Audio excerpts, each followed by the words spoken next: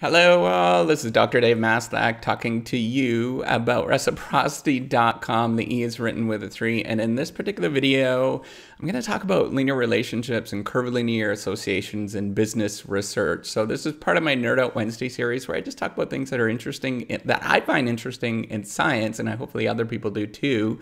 So, what I'm going to do is talk to you exactly, I'm going to explain what these linear relationships and curvilinear associations are and then get into you know why they're probably not used properly most of the time and then finally, you know, what can we actually do about this going forward in terms of these particular issues?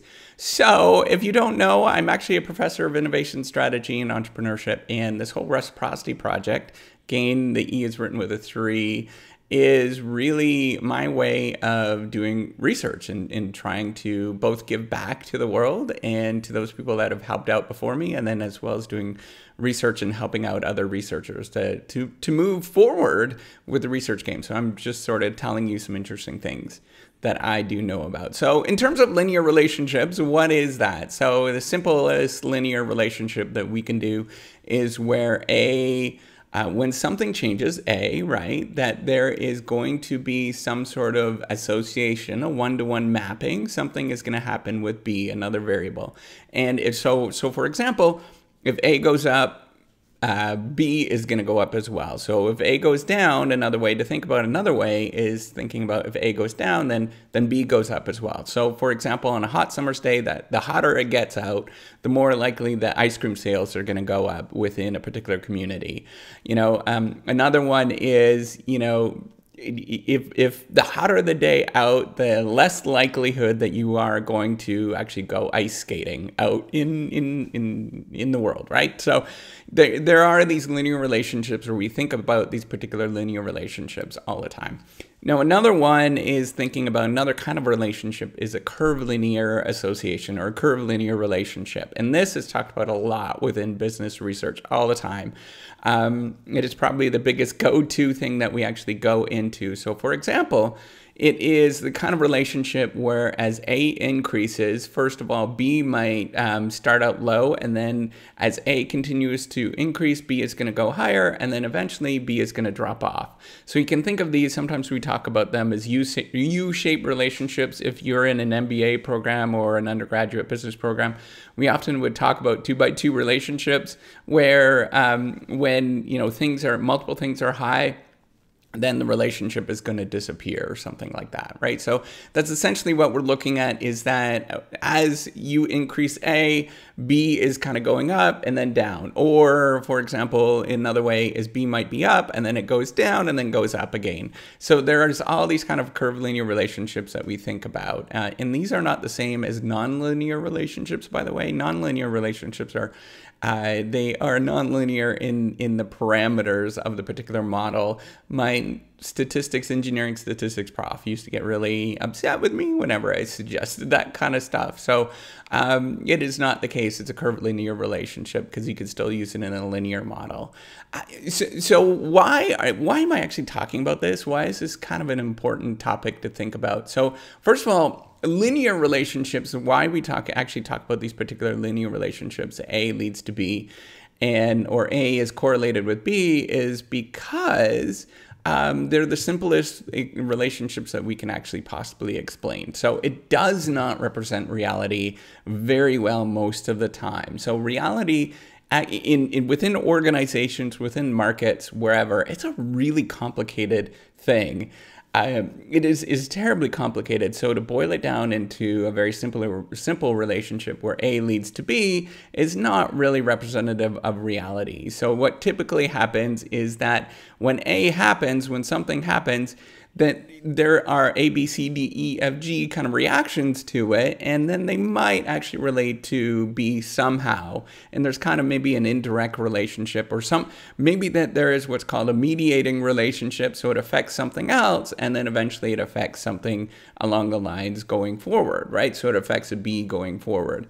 Uh, and, and often we don't know what these things are, and often what we often have is that A and B kind of correlate at the exact same time in that they are you know they're moving in the in a similar direction and it might be caused by something completely different.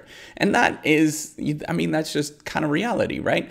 The other reason why we actually use these rela- linear relationships or we sort of get to talking about you know a leads to b is because the tools that we have which is generally some sort of regression analysis some ordinary least squares regression analysis that's how it models reality that we are trying to predict some sort of dependent variable or some sort of what's called a criterion variable. You're, you're trying to you're you're trying to explain some sort of a variable with the explain the variance with this this um, tool within a um, explain the variance of a variable. So how much it actually moves with this particular tool.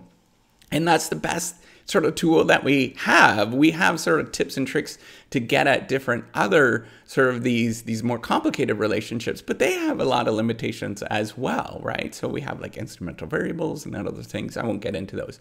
But they have limitations as well, which are really kind of similar to the same limitations as thinking about these these linear relationships. And then the other thing that we necessarily don't really explain very well is that often, you know, the relationships are not a one-to-one mapping by any sort of means, right? That that if something happens, it doesn't necessarily lead to this particular thing over here, there might be, in fact, some sort of maybe it's a delayed response. So you do something, and then maybe a year down the road, something happens, or maybe that there is some sort of triangle kind of response or something like that, or maybe that you know there's all kind of re responses that you can get that are not necessarily all that clear, and it's not necessarily a, a a um, curvilinear relationship. Case in point with this sort of triangle relationship is when you look at things like um, performance feedback, for example, within an organization. They're triangle relationships. Or, you know, you look at, you know, prospect theory. That's kind of much more of a triangle relationship or maybe an S relationship. It's, you know, that there there is, there's all kinds of crazy forms that you can get that are not necessarily this curvilinear relationship. And that i mean that that is kind of what reality is. It's complicated. It's really messy right? So why i'm actually pointing this out in terms of these particular problems and thinking about these curvilinear associations?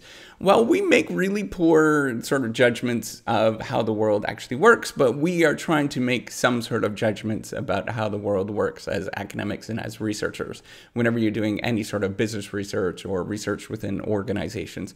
We are trying, what we're trying to do is boil, boil down these really complicated processes that happen within business, within organizations, within innovation, whatever it is you're looking at. We're trying to synthesize those things into a very simple relationship such that we can actually explain what's going on.